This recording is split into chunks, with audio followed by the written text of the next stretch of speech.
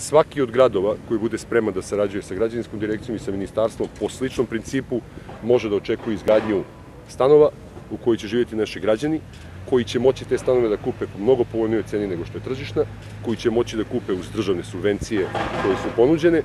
i koje će svakako pomagati i da se reši pitanje stambenih potreba vojske i policije i državnih organe sa jedne strane, ali sa druge strane da zaposle našu građansku operativu.